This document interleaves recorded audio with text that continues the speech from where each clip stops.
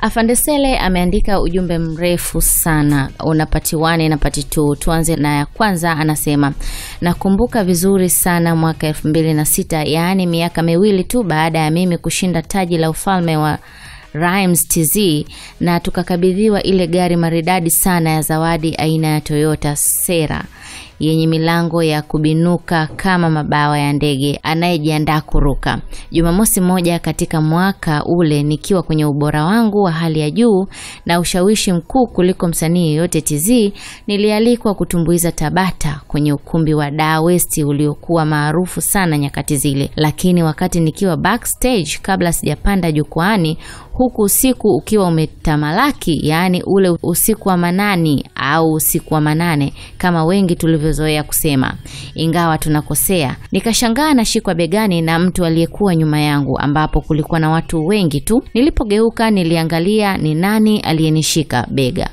Hamad. Nikamwona Lulu Michael aliyekuwa bado ni binti mdogo sana, ingawa tayari alikuwa na umaarufu si haba, labda kwa sababu ya hayo maigizo yao ambayo baadaye wakayaita filamu au bongo movie. Nilipomuona akaniamkia kwa bashasha, nami nikaitikia, huku sura yangu nikiikunja na kuwa ya kuogofya. Kisha nikamuuliza kwa ukali kidogo, ni kwa nini yupo pale ukumbini katika muda ule ambao kwa umri wake hakupaswa kuwepo.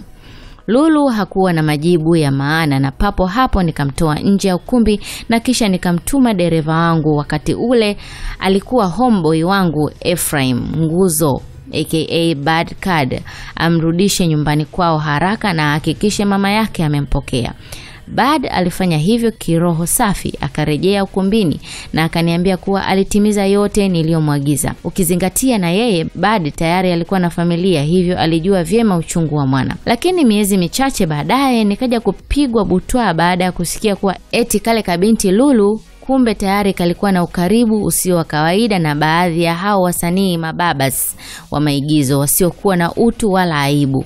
Niliumia sana moyoni nikiwa kama mzazi wa mtoto wa kike ninayempenda sana na kutamani kumwona akitimiza ndoto zake muhimu kwenye maisha kama kupata elimu kwa wakati mwafaka. Lakini niliumia zaidi baada ya matatizo aliyoyapata Lulu kupitia Kanumba, na kwa hakika sikuwa miongoni mwa waliohuzunika wala kushiriki kivyovyote ule msiba wa Kanumba, ingawa wakati wote wa pilikapilika za msiba ule mimi nilikuwa daa tena pale pale Sinza msiba ulipokuwepo.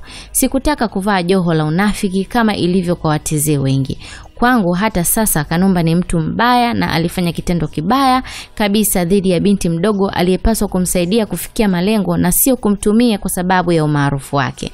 Leo Kanumba amepumzika au anapambana na Mola wake kwa kutofuata yale maandiko yasemayo kuwa tamaa ikichukua mimba huzaa dhambi na dhambi ikisha kukomaa huzaa mauti.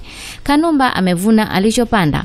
Lakini Lulu, unyonge wa kiumri na udhaifu wa kisichana vimebakia kuwa mateso katika maisha yake. Mungu ni mwema, atamwafu Lulu amalize kifungo chake salama, kama alivyompa Kanumba haki ya matendo yake mabaya kwa kumlaza mapema.